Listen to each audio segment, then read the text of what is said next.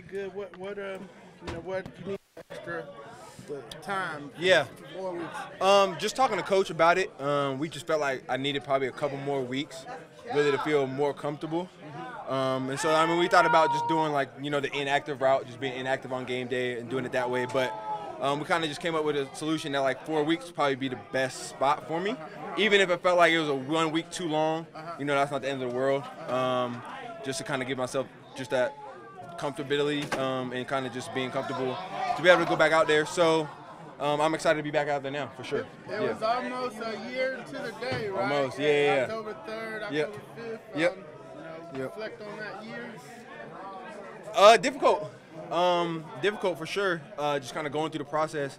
Um, I mean, it, it, it was tough, but I feel like where I'm at now, um, I did all the right things. I mean, we got a lot of great people here that helped me, obviously along the way, um, and so I'm just excited to be back out.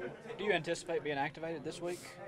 Um, I don't know. We're kind of going off this week of practice, um, kind of as a determining factor. Because kind of like I said, I felt like I was really probably ready like last week, um, but we kind of just had that extra week just to be 100%. Um, but yeah, kind of going, going off this week's practice, um, the game plan and things like that. Are there any Um, thresholds you think you need to hit, or is it just to feel? It's just a feel. Yeah. I've hit every all the marks, all the things. I mean, the numbers look great, all of that. So that's yeah, I'm cool with all that. It's just the good there. feel of getting back to football. I mean, you take three weeks, four weeks off of football, you kind of got to play football again. Um, but then once I get that feeling back, I'm, I'm good to go. What makes you feel that you're almost 100%? Like, what is it about it? Um, I don't know. It's kind of hard to explain. It's just kind of you kind of just know when you're out there on the field, um, and you moving around. You know, I can tell if I'm moving around how I normally would or not. Um, and I feel like I am now. I know yeah. that now that you're off the IR, it starts the 21-day clock. They can Right. activate you at any time. You've waited a long time. It's been a year to Yeah. get this close. So Yeah. what is this period like? Um, yeah, I mean, you kind of get anxious. You know, I mean, you just want to go, you want to go, you want to go. But um, you gotta, also got to understand that, you know, there's still a lot of games left, um, and I want to be able to be there at the end. You know, still healthy, still rolling, um, while we're, while we're fighting for playoff spots and things like that. So I don't want to come back too early, even if it's about two, three days, whatever. You know what I mean? Just to make sure that I'm there for the whole season, um, and I understand that. Um, but yeah, no, it's difficult, kind of waiting still. Yeah. So you guys are going to fight for playoff spots. Oh, for sure. It's a super fun experience. Super fun to be around guys like our O line and you know the backs. Everybody just pitching in to uh, for one common goal, and that's a dub. What does it mean to you to kind of like think back to where you were, I don't know, like even training camp last year and to, to kind of where you are right now? It's just crazy. Um, but the difference between last year and this year, is just preparation. Um, after last off season, I just mentally prepared myself and physically prepared myself to be in this position. So um, I didn't I didn't think that it was it would be un, out of the ordinary to be in this position. I just didn't know if I was going to get the opportunity. When it came, I was ready. How much pride do you guys take in their physicality on offense? A lot of pride. That's really how we go about doing things. Physicality first, speed off the ball, like Coach Led says, and that's really what we lead to it every game. when you're coming off a game where you rush for 200 yards, Tampa Bay is now, you know, words out. Um, does that make it more of a challenge for you, or how do you how do you approach that? Um, I feel like every game is challenging, but if we do what we're supposed to do, then no opponent opponent that we face will really give us problems. We just got to go out there and execute and do what we know to do. Um, shouldn't change what we do. We're gonna run the ball regardless. What can you say about those guys up front? Obviously, it alleviates the running game and opens it up a little bit. What have they done?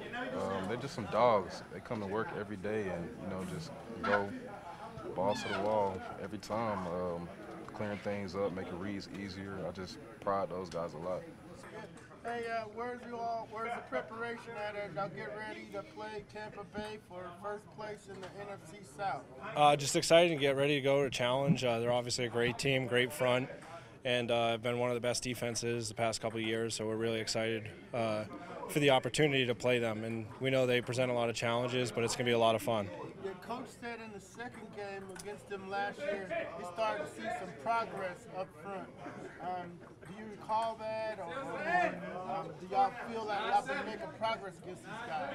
Uh, you know, they have the fronts they presented, and you know we were able to have more success the second game, but uh, but we still didn't win. So uh, we just got to you know really focus this week, uh, keep preparing, and keep keep getting ready to go for Sunday. I saw a stat uh, earlier in the week that against the Browns, if you look at Caleb and Tyler's runs, over like 85, almost 90 yards came off the right side. I mean, to hear that, what does that kind of mean to you and Caleb about what you're doing on the right side of the ball? Uh, it's it's just amazing the success we've been able to have as a team.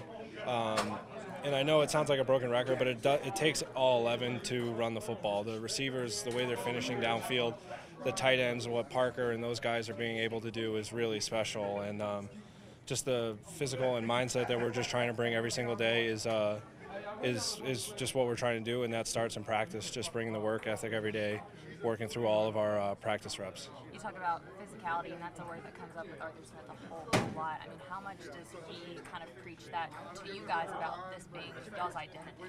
I, I think you nailed it right there. It's just he set that standard of what we're going to be and what we're going to be as a team, and the identity that brings. And you don't uh, change that week to week. You know, you don't get a pep talk. It's like the way you come to work at practice, and um, it started, you know, last year, and you know we've been building it and growing it, and look forward to continuing to do that.